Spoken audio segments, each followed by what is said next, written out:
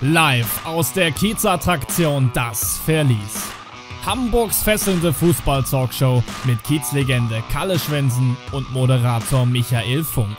Heute mit prominenten Gästen wie Philipp Pavlovic, Peter Ehlers und Dieter Schlindwein. MyBet EU präsentiert Ihnen Kalles Halbzeit im Verlies. Okay, ja, dann äh, freue ich mich ganz besonders, heute einen äh, Fußballer zu haben, der total geliebt wurde auf dem Feld. Und äh, lange Rede, kurzer Sinn, Dieter Schlindwein. Nadine für herein.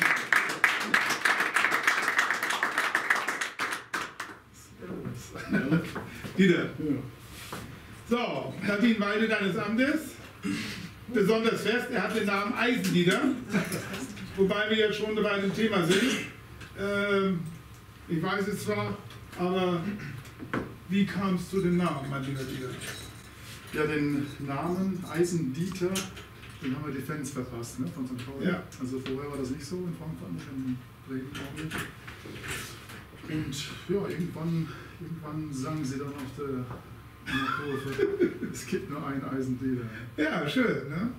Dann Ja, ja ich Lieb- übrigens auch mit dazu, ja. Und als Kalle gerade sagte, dass du immer von allen geliebt wurdest, hat er, glaube ich, die Gegenspieler nicht. Äh, ähm, Naja, die Zähne nicht bei Nee, St. Pauli. Ja, die heimischen, die heimischen Die heimischen Fans, die Ja. heimischen Fans, die ich jetzt sehe. Ja, pass auf. Viele wissen ja nicht, ich fange mal gleich mittendrin an, viele wissen ja gar nicht, dass du ein Olympionique bist. Du hast ja in Los Angeles bei der Olympianationalmannschaft gespielt. Genau, 1984. Genau, Das Los war ein Angeles. großes Erlebnis, ja.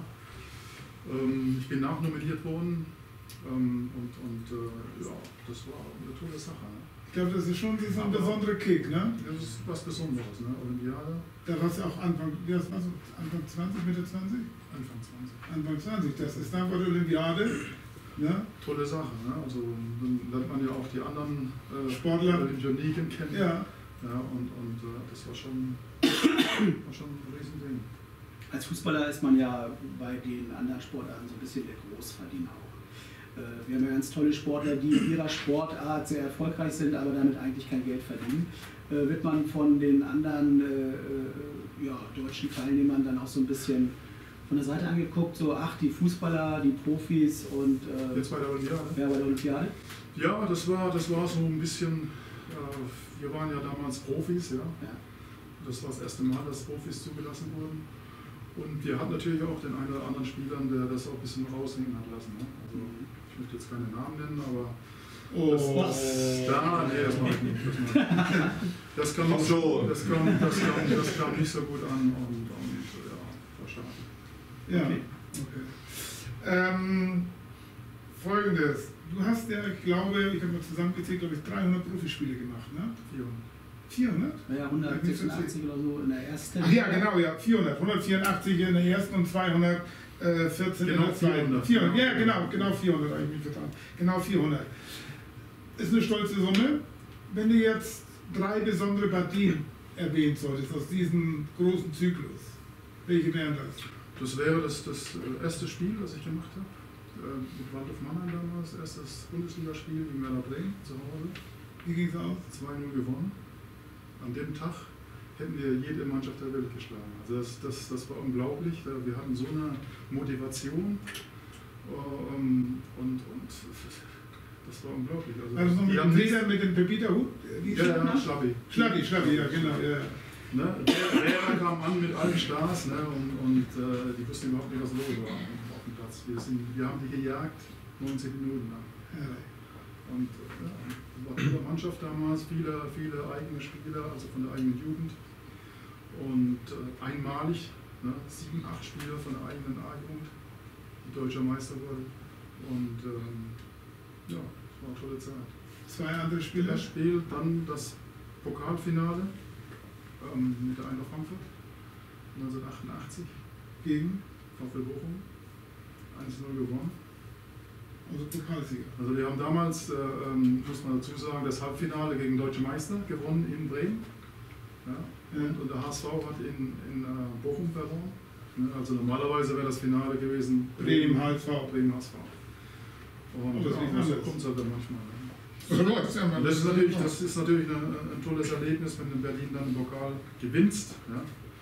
Ganz wichtig, wenn ich nicht verloren hätte, das wäre nicht so schön gewesen. Ist ja klar, dafür Aber- spielt man ja. Das ist der Ehrgeiz. Das, Ja, das sind die Spiele, sage. genau. Man muss versuchen zu gewinnen, egal wie auch Das sind die Spiele, die es ausmachen nicht? und wo du dafür äh, Fußball und schweißt und schwitzt. ja. Drittes. Drittes Spiel war in München, äh, auch mit Mannheim. Da war die, die Bayern 12 zu 0 Punkte, Oktoberfest. Und dann kam Waldorf Mannheim. da kam Waldorf Mannheim und äh, wir haben da 2-1 gewonnen. Und ich habe da einen Ausgleich gemacht, also, äh, oder nee, die, doch den Ausgleich gemacht und, und dann haben wir, haben wir noch eins gemacht, also 2-1 gewonnen. Ja, das ist natürlich schön in München. Ja? Spiel gewonnen, dann mit, mit dem Flieger nach Mainz, aktuelle Sportstudio und drei oben links reingeschossen. War alles, alles gut an dem Tag. Ja, wunderbar. wunderbar. Das ist so schön. Da freuen wir uns. Einmal einen Applaus für diese Karriere.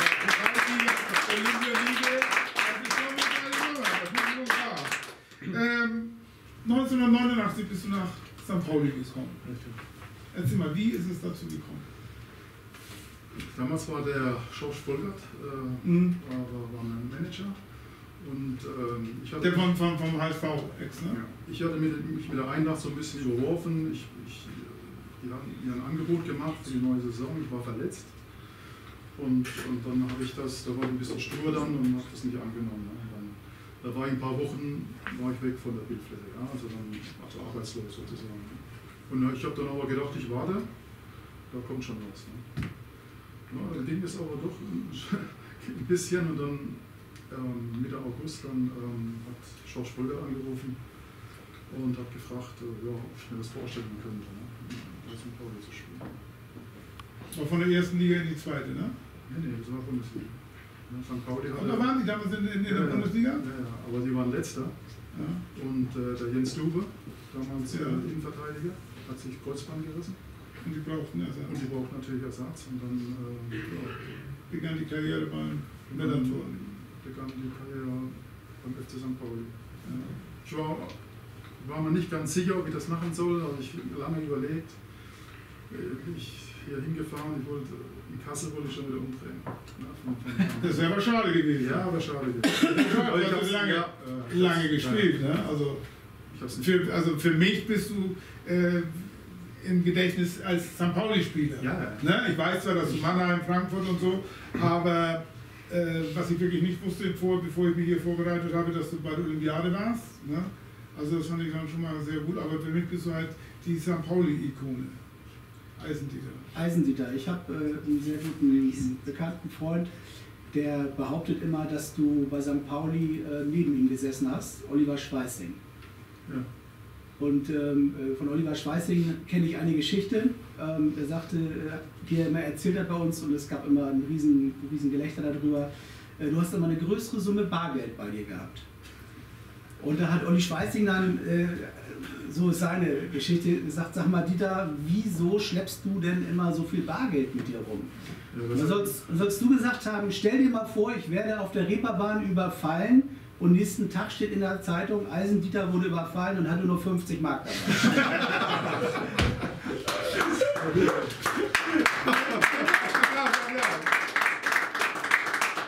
gute Story, aber daran kann ich jetzt nicht erinnern.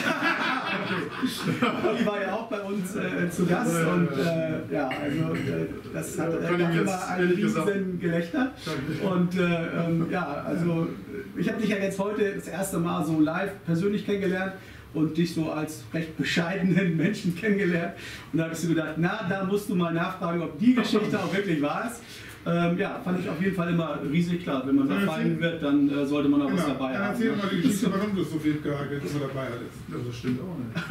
Das ist ja immer relativ. Gerade. Ja, ja, das weißt du ja am das, besten. das ist alles relativ. Immer relativ. Ja. Ja. Aber Themawechsel. bestimmt nicht deswegen, äh, dass ich da überfallen wurde. Aber ich fand die Story, ich habe diese auch gehört, die Ja. sagt hier, also ja, klar, er hat es dir erzählt und das fand ich natürlich sehr lustig. Das fand ich gut, das war ja gut, das hat Style irgendwo beschissen. So lange her, das kann sein. Hast du bei St. Pauli auch unter Uli Maslow gespielt? ja, ja, ja. Uli Maslow kam irgendwie aus einer, aus einer Station irgendwie äh, aus, keine Ahnung was, Afrika oder Ja, ja, und hat dann ein komplett neues Spielsystem äh, am ersten Tag euch vorstellen wollen. Ja, das war so ein Exot. Also Uli Maslow, äh, Katastrophe. Erzähl mal, Episode. Der hat, ja, der, der wollte ein neues System spielen, Viererkette damals, ja, das war ja äh, ganz neu. Und ja, aber wir haben das nie einstudiert. Der hat einfach nur gesagt, ihr vier spielt jetzt da hinten auf einer Linie. Ja. Dann haben wir gegen, dann haben wir gegen Kaiserslautern gespielt, acht Tage vor Saisonbeginn. Und die haben 7-0 gewonnen hier. Dann haben wir gesagt, Trainer, ich glaube, es ist besser, wir spielen da so, wie wir immer gespielt haben. Ja, Mir wurde auch erzählt, dass Uli Maslow kam und sagte, wir haben jetzt ein ganz neues System, ich habe da was kennengelernt, äh, äh, das ist also, das können wir auch und wir spielen mal 4-4-3. Und dann kam irgendwann die Frage, Ja. Trainer, Spielt der Torwart. Ne? haben wir, wir einen Torwart? Ja, der war, der war ein bisschen durcheinander. Muss man ganz klar sagen. Also, Ähm, die Frage ist, St. Pauli, die stehen im Augenblick sehr gut da. Ja? Also Führungsstück. Verfolgst du das noch ein bisschen so? Weil du hast ja, äh, oder so sagen, was machst du im Augenblick? Was ist so dein, dein Hauptbetätigungsfeld im ja, sicherlich verfolge ich natürlich. Ja. Ja. Ich in gucke aber auch den HSV. Also ich bin habe mehr HSV-Spiele gesehen als St. Pauli-Spiele. Da treffen wir uns ja mal regelmäßig. Genau, das sehe ich ja. Ja, ja ich mache im Moment äh, bin ich äh, bei Hannover 96 oft äh, bei Fußballschulen. Ja, da, da machen wir mit Kindern drei Tagescamps, so von Freitag bis Sonntag, Aha. fünf Einheiten. Auch in, in, in, auch in kleinen- Tirol. oder? Ich habe dich ja erreicht in so aus dem Genau, Tirol, als wir genau, telefoniert auch haben. im Ausland und, und ins Deutschland. Ja. Ja. und ich mache das auch privat und Vermittler. Und, ja, so ist das so mein Ding. Ja. Das ist also, du hast ja auch die A-Lizenz und so. Ne? Fußballlehrer. Fußball. Ja. Könntest du dir vorstellen, irgendwann mal einen Verein. Äh, Ja, ich glaube, der Zug ist jetzt abgefahren, das ist also zumindest im, Profibereich. ja, Aber okay. ja, weil ich da zu lange raus bin jetzt. Und, äh, weißt du, du musst immer up to date sein, du Ja, musst immer, ja. deinen Kopf ja, im, Fernsehen haben. Und was ist das? Muss ich auch nicht haben, ganz ehrlich gesagt. Ich Wenn man so, gesehen hat, wie es so zufrieden jetzt. wie äh, wenn du in Eigenverantwortung bist, dass es nach hinten losgehen könnte, wie bei unserem gemeinsamen Freund Bernd Hollerbach. Ne? Zum Beispiel. Ja, schade.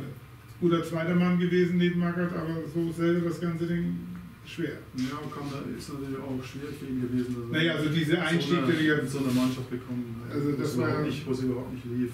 Ne, das, das stimmt, das ist schon. War schwierig. Dein letztes Spiel, dein letztes Profispiel. Das lief ja nicht so wie gewünscht, oder? Passiert, wenn man Innenverteidiger ist, ne, dann kriegt man auch mal eine rote Karte. War gegen Borussia Mönchengladbach, weiß ich noch hier, letztes Spiel von mir.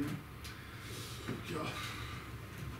Stürmer läuft quer rüber und, und bleibt am Schnürsenkel lange hängen. Das siehst du, da haben wir das wieder. Ja, ja, das war Ja, so. das ist ja, ich sage es, konnte Stürmer nicht- schuld. Ich konnte nichts dafür, da ist er mal am Schnürsenkel hängen geblieben. Der, war Genau. auch, der war auch so weit hochgestanden, habe ich Schiedsrichter gezeigt, hier guck. Aber dann haben die kein Verständnis hier. Das war wann, in welcher Saison? Weißt du das war noch so? Saison 96. Das ist aber dann mit Abstand die längste Rotsperre, ne? Bis heute. Naja, war letztes Spiel. Ja, letztes Spiel. Letztes Spiel, das gab's. Ja, ja, aber der Uli Maslow war Trainer und der, hatte, der hatte nur drauf gewartet, muss ich ganz ehrlich Okay. sagen. Der hat nur drauf gewartet, bis sowas passiert. Ach was. Das ist natürlich nicht schön. Gut. Hast du irgendeinen Schiedsrichter in Erinnerung, der besonders gut war? Oder besonders schlecht war? Naja, der war zum Beispiel schlecht. Ja, so als, knall- als knallharter Ja, ja. Verteidiger ist das ja immer. Äh, äh, Nee, eigentlich, eigentlich äh, bin ich mit den Schiedsrichtern so gut, gut zurechtgekommen. Also, da gab es keine Probleme. Wie siehst du denn jetzt so die, weil du hast lange gespielt, verfolgst das, ähm, wie siehst du denn so die Zukunft vom FC St. Pauli? Meinst du, er hat eine korrekte Chance aufzusteigen und sich dann, auch wenn sie es wieder schaffen, aufzuhalten? So, das ist, glaube ich, nur eine Momentaufnahme. Schön für St. Pauli natürlich, dass sie, dass sie mal vorne weg marschieren. Aber ich glaube nicht, dass am Ende der Saison, dass sie da oben, oben dabei sind. Glaube ich nicht. Mhm. Aber gut, St. Pauli, ich glaube, die, die wollen auch gar nicht. Die, wollen, die wollen gar nicht, die wollen in der zweiten Liga da mitspielen. Ja, das ich glaube, das reicht, das reicht.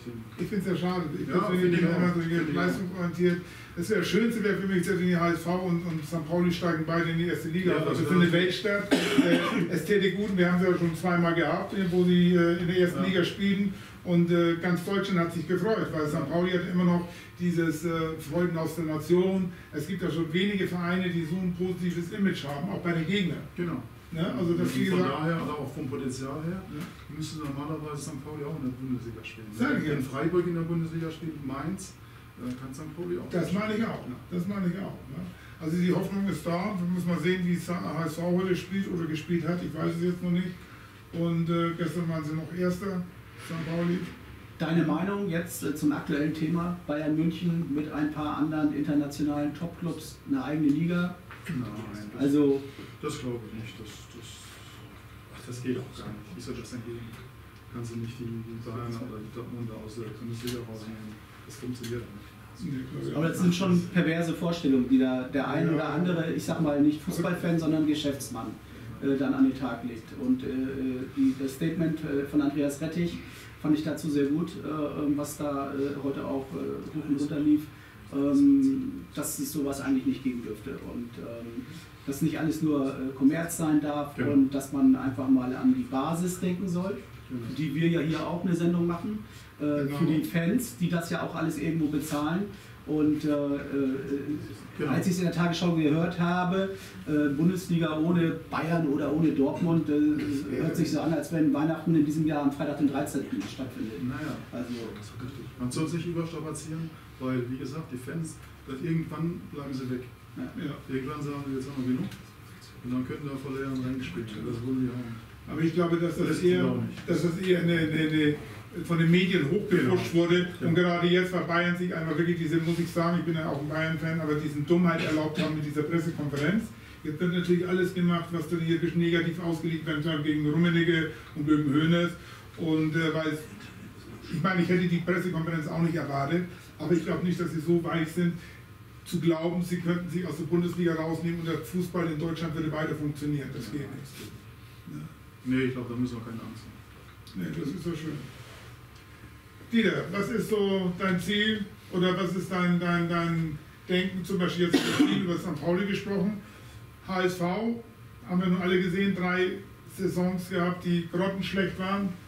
Und ich habe mir jetzt dieses Jahr vorgenommen und habe es bis jetzt eingehalten, nicht ein Wort weder gegen oder für den HSV zu schreiben. Ähm, ja, weil die sind schon so gebeutelt, das muss man nicht noch auf, reindrehen, wenn sie am Boden sind. Glaubst du an den Wiederaufstieg? Ja klar, also, Also direkt, meinst du, es funktioniert? Also, es wird schwer nicht aufzusteigen in dieser Liga. Na ja. Ja, Druck. Ja, das ist so. Also wenn, wenn sie das nicht schaffen, dann also, da ist noch blamabler als der Abstieg dann. ehrlich. Also Ja. du musst in dieser Liga musst du aufsteigen.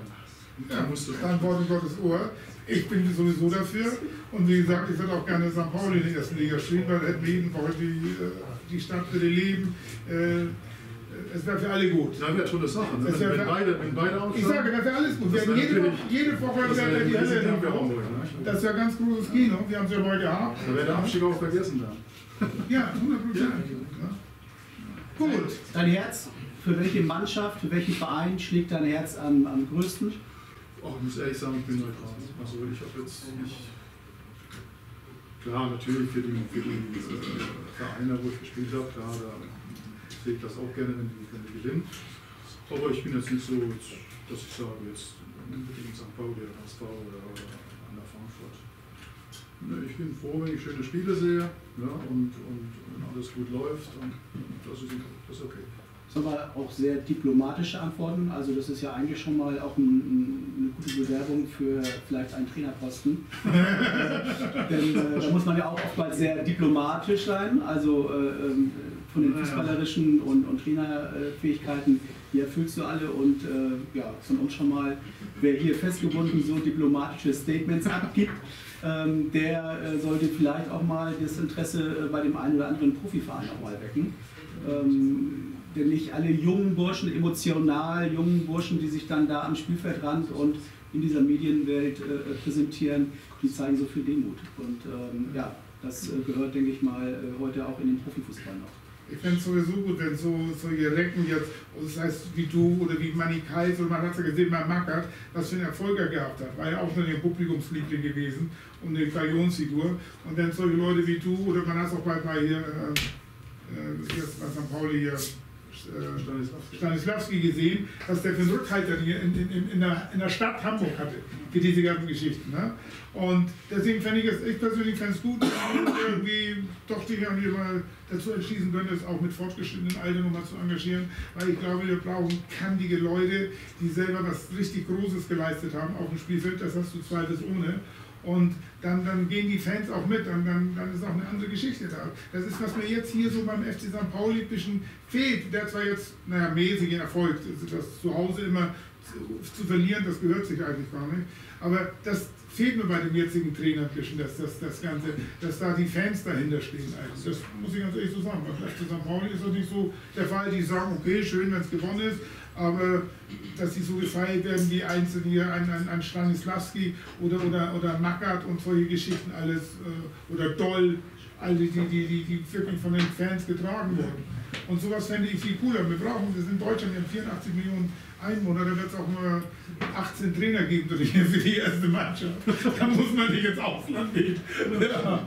Meine Meinung, das ist wirklich meine Meinung. Ja? Okay, ich freue mich. Ein Applaus für Dieter, der endlich gesagt hat. Ich muss dazu sagen, Dieter war wirklich einer meiner ersten Wunschkandidaten. Es hat jetzt zehn Monate gedauert. Ja, ja, nee, neun Monate. Wir fingen ja im Februar an, weil der erste Montag war der 1. Januar. Da wollten wir die Leute ausschlafen lassen. Aber ich bin froh, wir hatten den ersten Spiel, hatten wir äh, Manny Keitz, auch ein großer Wunschkandidat äh, von mir gewesen. Jetzt Dieter. Perfekt, wunderbar. Jetzt weiß ich, jetzt müssen wir nächste zum Abschluss gehen, nur noch Uwe Seeler. Ja. ja, ja, wirklich so. Halt, den stehen wir bestimmt. ja, solange es noch geht. Ja. Okay, dann bedanken wir uns recht herzlich bei allen, die hier waren. Ich sage Nadine, wir freuen uns dann wieder.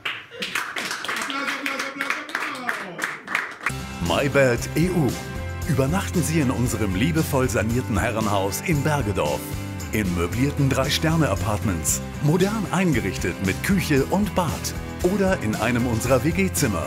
Idyllisch im Grünen sowie am Wasser gelegen, trotzdem verkehrsgünstig. Und das günstiger als eine Jugendherberge. MyBed EU. Jung, sportlich, fair. Vielen Dank fürs Zuschauen. Wenn euch dieses Video gefallen hat, schenkt uns einen Like und kommentiert dieses Video. Um kein Video mehr zu verpassen, abonniert unseren Kanal oder ladet euch einfach die KickTV App herunter. Vielen Dank fürs Zuschauen.